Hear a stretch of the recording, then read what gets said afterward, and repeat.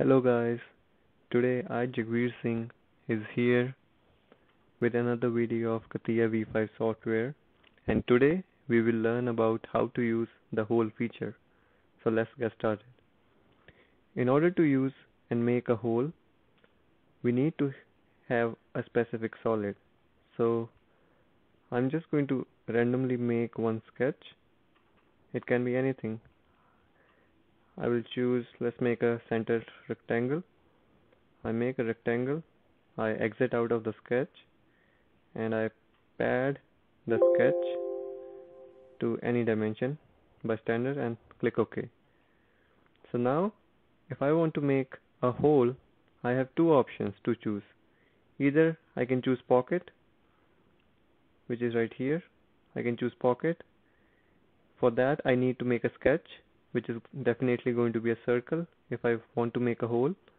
And then I can specify the depth to which I want to cut. But another way of making simple holes is the hole feature itself. You click on hole. For hole it asks for a specific surface on which you want to make the initiation of the hole and then you can specify the dimensions. But for that you need to make a point on the surface. So in this video I will also teach you how to make a point on a surface if required. You click on this point and there are different different options that you can choose the point type for. I'm just going to use you can choose either coordinates or also on surface or plane whichever you like. I'm going to click coordinate and I'm going to click on the surface so now it's asking for me where I want the point to be. And we do have v and h value that we can specify. If we want the hole to be made right in the middle we can enter 0 and 0 for both v and h and click ok. So now I have a point which is right in the middle of the surface where I would like to make a circle or a hole so this point will refer me and can be used as a center point of the circle for which I want to cut a hole throughout or to a particular depth as required by any user. So I click on hole and now I click on the point, I click on the surface itself.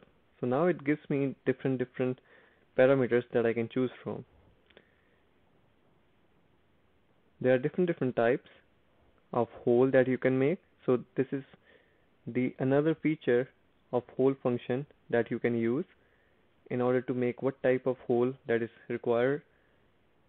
Rather than making different different depth using the pocket feature.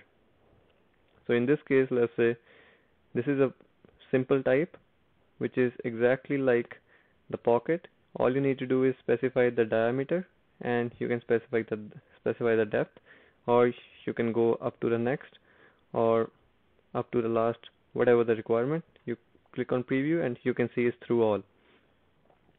You can you have different different types. You can come to tapered. If require a specific angle whatever the angle might be given to you let's say it's given 30 degrees you click 30 degrees and you click preview and you can see one converging hole that that is made all the way through. So if you were to do the same thing using the pocket feature you need to do you need to make two different holes or to make one sketch from this view at the center and make sure you revolve it or you revolve cut or use the groove function that I will show you in the next video for sure and how to use the groove function in order to do some features. But that's going to be a lot of work for no reason so that's why we prefer hole over any other feature like pocket or the groove when required to make a simple surface that we need to extrude cut through all or just we need to make one hole. So there are also different different other types which which I can see counter bore countersunk and counter drill. So basically the first type and the last three types are the main one that we use in engineering. Counter bore you can see as the when I'm going to click on preview it shows us that we can specify two different diameters and the best part about these holes are that they can be used to rest the screws or the nut at this gap that is going to be present right here between the two pockets. And then we can specify the length. As much we want to cut if you want to cut more we can. In order to control the overall depth of cut we can use this particular feature but as we have entered up to next so it will by default select the entire length. If you want to specify a particular dimension you can click on blind and then you can choose it by yourself like whatever the depth you want to choose. And click preview and then you can see right there.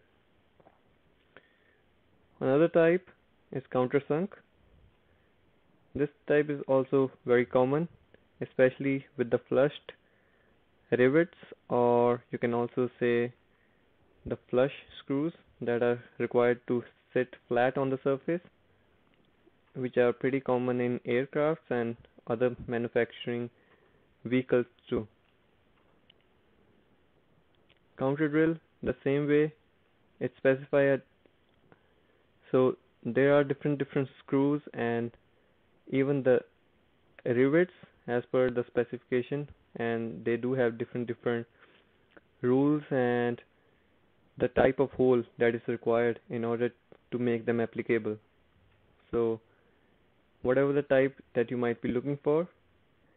All you need to do is choose hole make a center point use hole feature or hole definition in order to make the type of hole that you're looking for and that's pretty much it.